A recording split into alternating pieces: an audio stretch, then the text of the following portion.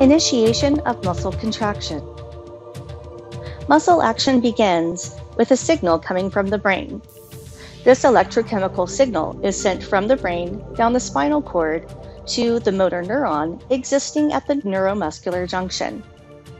The motor neuron at the neuromuscular junction will then fire an action potential.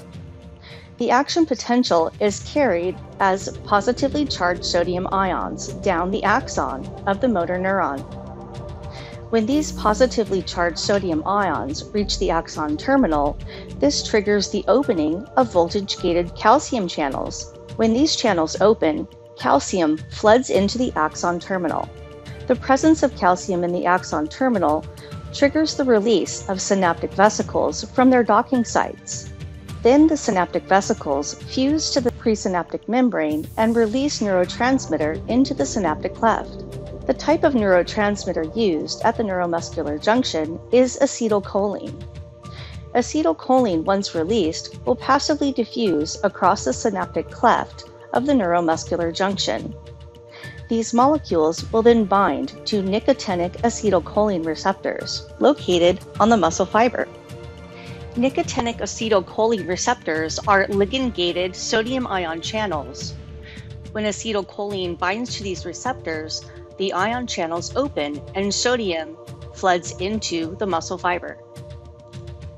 Sodium is a positively charged ion, so the, addi- so the addition of sodium in the muscle fiber causes a localized depolarization. If there is enough depolarization, nearby voltage gated sodium channels will then open. When voltage gated sodium channels are opened, there is a further influx of positively charged sodium ions entering the muscle fiber. This further depolarizes the muscle fiber, triggering even more voltage gated sodium channels to open. This chain reaction is the action potential. This action potential is then propagated across the sarcolemma and down the T tubules. When the action potential is propagated, voltage gated calcium channels located on the sarcoplasmic reticulum will open. When these channels open, the sarcoplasmic reticulum releases calcium ions into the sarcoplasm.